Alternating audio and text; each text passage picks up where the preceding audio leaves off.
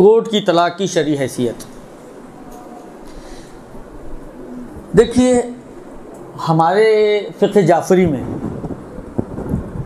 निकाह और तलाक बिल्कुल बरअक्स हैं फ़िक़ गैर जाफरी से। अब गैर जाफरी में वो चारों आ गए ना।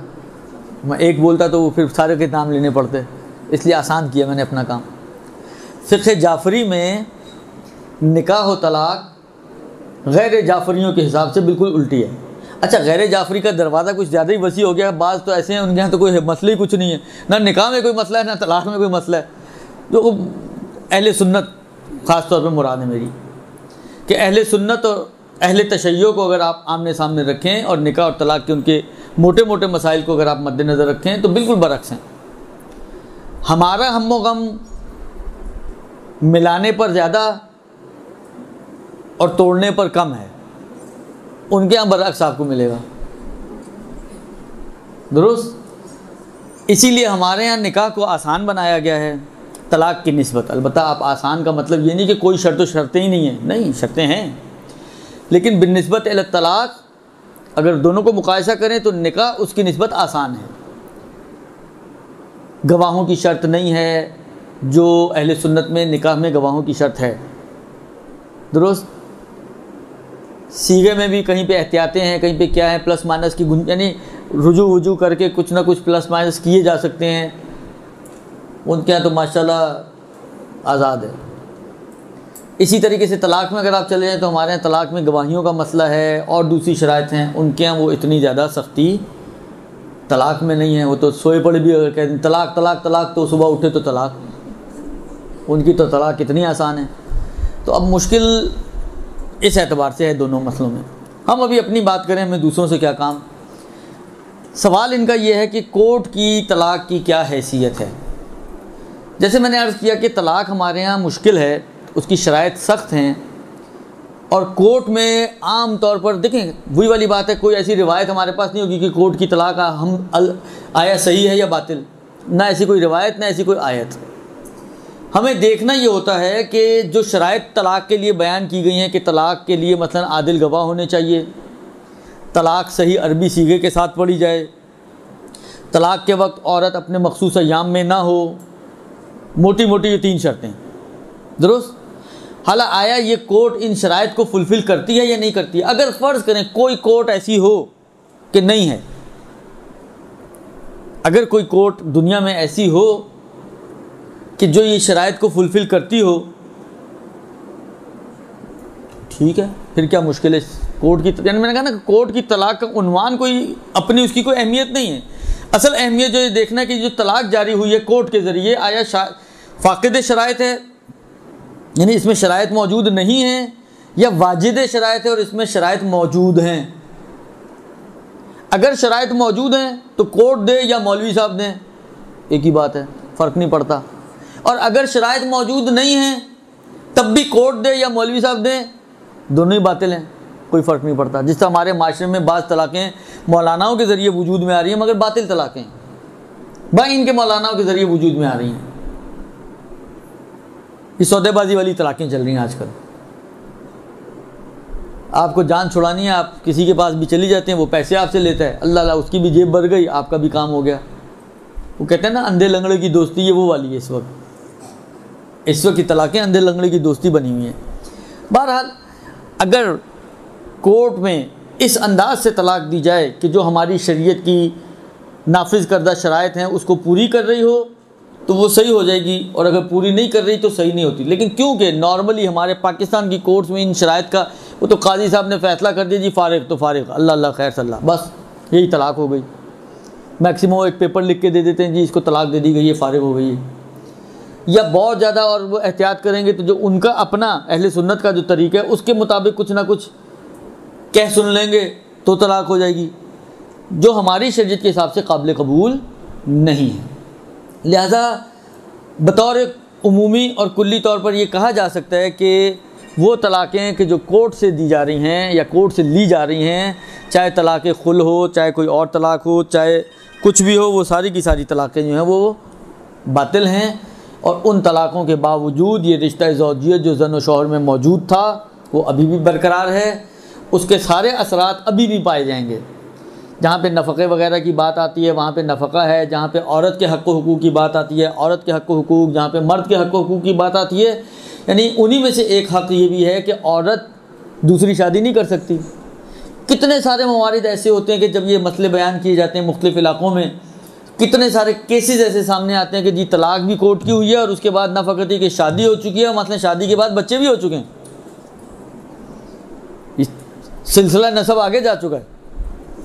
कितनी सारी ऐसी आपको मिसालें अपने माशरे में, शायद अभी आप लोग बैठे बैठे सोच रहे होंगे कि कौन कौन ऐसे हैं और आपको दस केसेस आपके बिजन में आ जाएँगे। कि ये हुए हैं वाक़ात कि कोर्ट के ज़रिए तलाक ली गई, उसी तलाक को तलाक समझते हुए नया निकाह पढ़ा गया नया निकाह पढ़ने के बाद बिलाखिर जन शोहर हैं तो नस्ल आगे भी बढ़ चुकी है जबकि ये सारे मरहले बातिल। अच्छा अब ये अगर किसी वाकन देखें एक मरतबा तो मालूम था लोगों ने बताया भी भाई उस मौलाना के पास नहीं जाना बातिल है वो तलाक सही नहीं देते हैं ये वो लेकिन जिस मैंने कहा ना अंधे लंगड़े वाला काम था उन, उन्होंने पैसे लिए इन्होंने पैसे दिए इनका भी काम हो गया इनके पास एक सर्टिफिकेट आ गया। देखिए तलाक शरीयत की जितनी भी चीज़ें हैं, वो कागज़ के ऊपर नहीं चलती हैं। ये कागज़ सिर्फ़ झगड़े हल करने के लिए होता है। शरीयत की जितनी भी चीज़ें हैं, वो वाकयात के ऊपर चलती हैं कि हुआ क्या है हकीकता हकीकता तलाक अगर हो चुकी है तो अब चाहे इनके पास कोई डॉक्यूमेंट्री प्रूफ ना भी हो तो आप ये कहेंगे कि जी डॉक्यूमेंट्स क्योंकि नहीं है, लिहाजा ये अभी भी मियाँ बीवी हैं। नहीं हो सकता। शरीयत के वाक़े में दोनों का निकाह हो चुका है इनके पास कोई प्रूफ नहीं है, पुलिस ने रास्ते में पकड़ लिया। निकाह नामा दिखा। अब कौन सा अक्लमंद इंसान है जो जेब में निकाह नामा ले? यहाँ तो लोग लाइसेंस नहीं जेब में रखते हैं। तो निकाह नामा लेके कौन घूमेगा? हालात पुलिस वाले तो उठा के ले जाएँगे अंदर। हालात फ़र्ज़ करो, वाकई में था भी नहीं इसके पास। ये बाद में भी नहीं पेश कर सका। तो इसका मतलब यह कि ये निकाह नहीं हुआ। जो है वो है, जो नहीं है वो नहीं है। ये कागजात, जितनी भी कागज़ी कार्रवाइयाँ हैं, चाहे निकाह में हो, चाहे तलाक में हो, चाहे किसी और जगह हती घरों में ये मसले आते हैं। बहुत सारे लोगों ने अपने घरों को बीवियों के नाम किया हुआ टैक्स बचाने के लिए। जबकि मिल्कियत बीवियों की नहीं है। तो अब क्या फ़र्ज़ करें, कागज़ आपके नाम पे होने से वो घर आपका हो गया? बीवियाँ तो ये समझती हैं, लेकिन गलत फहमी का शिकार हैं। वो घर आपका नहीं होगा। मिल्कियत जिसकी है असल चीज़ वाकईत है ये है किसका घर? अथॉरिटी किसके हाथ में है? कानूनन नहीं, शरअन। मिल्कियत किसके इख्तियार में है? कौन इसको ख़रीदने, बेचने, बख्शने, इन चीज़ों के इख्तियार रखता है?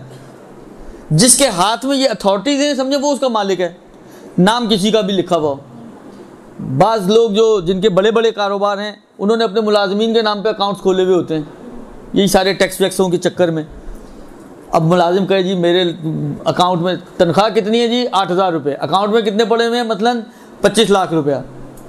वो आठ लाख आठ हज़ार कमाने वाले के अकाउंट में पच्चीस हज़ार पच्चीस लाख रुपया। अब वो कहे, जी, वो तो मैं उसका मालिक हूँ। तो ये कागज़ी कार्रवाई सिर्फ़ कानूनी और इन चीज़ों के लिए है। वह इनकी वाकईत के एतबार से कोई अर्जिश नहीं है। नहीं है कागज़ आपके पास, अगर एक चीज़ है तो है। कागज़ है आपके पास और एक चीज़ नहीं, क्या जाली काम नहीं होते? मैं आपकी खिदमत में एक वाक़ अर्ज़ करूँ, मैं अभी किसी एक जगह के लिए डीसी ऑफ़िस गए थे रजिस्ट्री के चक्कर में तो वहाँ बैठे हुए थे तो एक टाइम पास हो रहा था, क्योंकि वो इंतज़ार हो रहा था बारी का तो किसी साहब ने एक किस्सा सुनाया। कहते हैं, एक, उधर के आपको तो पता है, पाकिस्तानी निज़ाम है, कायदे आज़म का निज़ाम है। तो वहीं के किसी ऑफिसर की कहानी सुनाने लगा कि एक दफ़ा एक किसी से टकराव हुआ। तो उसने बताया कि जिससा होता मतलब देहाती खातून थी, उसका बेटा उसको ले आया वहाँ पर। घर उसके नाम था, खातून के नाम था। उसका बेटा उसको ले आया पासपोर्ट बनवाने के लिए। चलो तुम्हारा पासपोर्ट बना के लाता हूँ। और पासपोर्ट बनवाने के नाम पर सारे डॉक्यूमेंट्स पे अंगूठे वंगूठे लगवा के और फारिग डाल दिया उसने सिस्टम में कि रजिस्ट्री इसके नाम हो जाए। चंद दिनों बाद वो खातून पूरी पर्ची लेकर आ गई कि बेटा मेरा पासपोर्ट बन गया। उसने हैरान हो गया, कौन सा पासपोर्ट ना मैं चंद दिनों पहले बेटे के साथ आई थी। उस वक्त वो ऑफिसर कहते हैं, उसको क्लिक हुआ कि ये कहानी क्या है? कहते हैं, वही वाली बात है बिलाखिर शैतान भी कभी कभी सजदे कर ही डालते हैं ना। तो कोई कोई नेकी तो हर इंसान कर ही लेता है। कहता है, बस एक नेकी सूझी मुझे, मैंने सारा रिवर्सल काम किया और सारे डॉक्यूमेंट्स को कैंसिल करके और इसकी पर्ची के ऊपर कैंसिल की स्टैंप लगा के मैंने ऑफिसर कहता है, मैंने इसको, अम्मा को दिया कि जाओ अपने बेटे को बोलो, जाके मैंने पासपोर्ट ले लिया। तो कहने का मकसद ये है कि अब फ़र्ज़ करो, अगर ये इस तरह जालसाजी से नाम अपने नाम करा ले तो क्या मालिक बन जाएगा? ये कागज़ी कार्रवाइयाँ सिर्फ़, मैंने कहा ना, ये कानून और कोर्ट और कचहरियाँ और झगड़ों को तय करने के लिए होती हैं। वाला इनकी कोई अर्जिश नहीं है, अहमियत नहीं है। तो कोर्ट की तलाक अगर शराइ की हामिल है तो सही है। अगर शराइ मौजूद नहीं है तो बातिल है। लिहाजा, ये तलाक़ें तो बातिल हो गई। अब क्या होगा भाई? तलाक ना फ़कत ये कि तलाक हो गई, निकाह हो गया, बच्चे हो गए। अब ये जो हैं, क्योंकि मैंने कहा ना, अक्सर लोग इस तलाक को शायद सही समझते हैं। और तलाक को सही समझते हुए आगे के मराहल तय हुए हैं, लिहाजा ये जिना के हुक्म में नहीं आता। एक उनवान है शरीयत में वती बिशुबा शुबह के ताल्लुकात। शुबह की हालत में ताल्लुकात। ये वती बिशुबा के हुक्म में आता है और वती बिशुबा की सूरत में जो औलादें पैदा होती हैं, वो नाजायज़ नहीं कहलाती हैं, वो जायज़ औलादें होती हैं और उनके ऊपर जना का अहकाम जारी, ना इस जन शोहर पर भी जना, अगर दोनों जानते, नहीं जानते थे और इस तलाक को सही समझते हुए उन्होंने आगे कार्रवाई की है तो इनके ऊपर भी जना के अहकाम जारी नहीं होंगे। मैक्सिमम ये होगा कि जिस दिन उनको पता चलेगा तो वो अक्द बातिल हो जाएगा और औरत को इद्दा वगैरह रखना पड़ेगा, अगर दोबारा से निकाह करना चाहें तो फिर वो दोबारा की निकाह हो सकता है। अलबत् फिर उस सूरत में अगर उसी मर्द से वो निकाह कर रही है तो इद्दे की कहानी फिर बदल जाती है थोड़ी सी। तो ये तलाक का मसला कोर्ट की तलाक़ों का, कि कोर्ट की तलाक़ें क्योंकि शराइ मौजूद नहीं होती, इसलिए वैलिड नहीं होती। चाहे वो किसी भी फॉर्म में हो तलाक़ खुल हो तलाक़ मुबारत हो तलाक़ रज़ी हो, कोई भी तलाक़ हो, तलाक़ की किस्मों में से नॉर्मली तो खुला के केस जाते हैं। ये शराइ ना होने की वजह से बातिल है। और उनके ऊपर आप अलबत् एक चीज़ हो सकती है। देखें शराइ ना होने की वजह से तलाक तो बातिल है। इस तलाक की कोई अहमियत और अर्जिश नहीं है। इसके बाद आप निकाह भी नहीं कर सकती हैं। अलबत् ये हो सकता है कि इस बाज़ सामने वाले को प्रेशराइज करने के लिए या सामने वाले को वो तलाक दे नहीं रहा है, वगैरह वगैरह, कोई भी चीज़ इस किस्म की है तो एक, इसको एक, समझे प्रेशर के तौर पर, एक ताइद के तौर पर आप यूज़ कर सकती हैं। कि भाई, देखो मेरी कोर्ट से तो तलाक हो गई है। लेकिन इसकी अहमियत कोई नहीं है। ये सिर्फ़, मैंने कहा ना कि सिर्फ़ हल्का फुल्का सा, समझे, एक डंडा दिखाने के वाली बात है और कुछ नहीं है। इससे ज़्यादा कुछ नहीं है। तो ये है कोर्ट की तलाक का मसला।